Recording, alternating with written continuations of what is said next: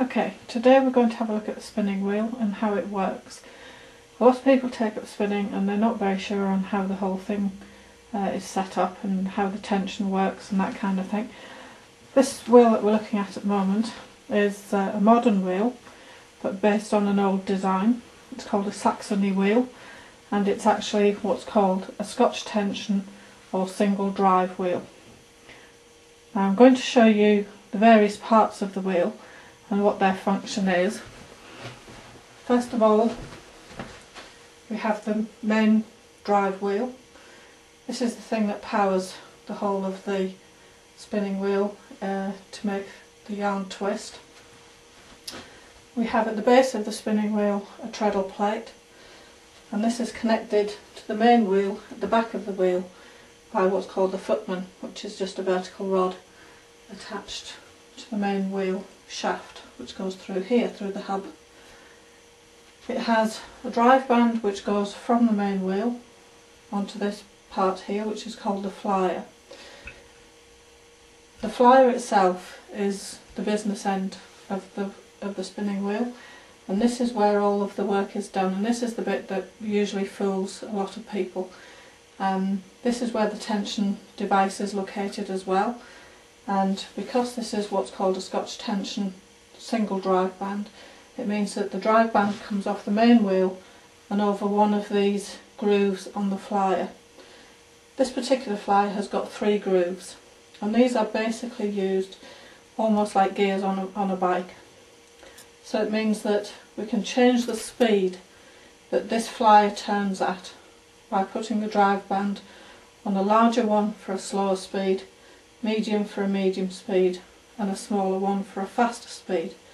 So if we want to spin very fine yarn we would tend to put the drive band onto the smaller whorl and that means that for every treadle of the foot plate this wheel will turn this whorl at a given rate. Now the easy way to work out what your ratio is is to tie a little piece of yarn onto the flyer on the top arm, which I'm just going to do.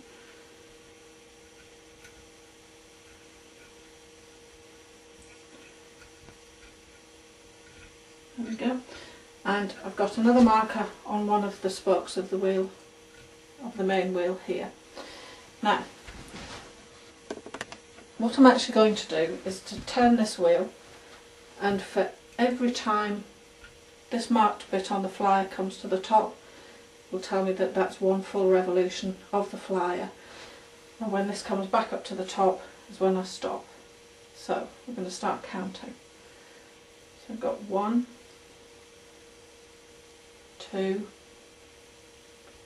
three, four, five and a half. So we've got five and a half turns on this ratio to, to this one turn of this main wheel. So that's a five and a half to one. The middle one, I'm going to do the same for. Put the marker up to the top and start again. So I've got one, two, three, four, five, six, seven and a half. So that's seven and a half turns on the middle one, so that's seven and a half to one. I'm going to put it onto the fine one and start the same again. Markers at the top, one, two, three, four, five, six, seven, eight, nine, ten, eleven. So that's roughly 11, 11 to 1 on the very smallest whorl. You can buy flyers for most wheels or have flyers made that are much smaller so that you can get down to maybe 24 or 40 to 1. You can also get much bigger ones where, where you've got what are called jumbo flyers which have a bigger orifice here for allowing thicker wool to go through and quite often they might be down to maybe 3 or four turns uh, on the smallest whorl so that you can get much less twist for a much thicker yarn. Just going to take the flyer off so you can have a, a look at it because I want to show you the bobbin and the spindle.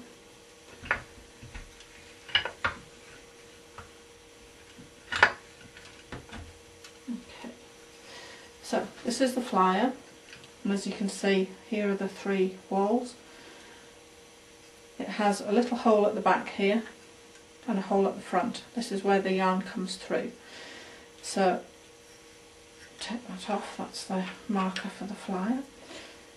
We have a bobbin which fits onto the spindle.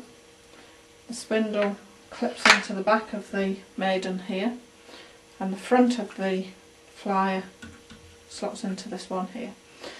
Put the bobbin on with the larger end of the bobbin at the back. Some flyers are very specific in which way you can put the bobbin and this particular one much prefers with the bobbin at the, the back end because once it gets into here it's too big to fit in between the arms properly. So we're going to clip this back on, put the drive band over the whorl first, clip it into the hole and then into the clip at the back. So that's your front tension. You've also got on this what's called a bobbin brake or a bobbin tension and this comes from this knob here, goes under a little hook at the back over the top of the bobbin and it clips into the hook on the other side. Right, so now we're going to look at the tension on the bobbin and how that affects the way the yarn is spun. The yarn comes over the top of the flyer arm. I'm just going to thread it up with this hook. There we are, hook back there. Now the rate that we want this to twist at is determined by the tension on the bobbin. If we put too much tension on the bobbin, it means that the yarn isn't going to have time to twist properly, so that when we come to ply the finished yarns, we end up with it breaking a lot.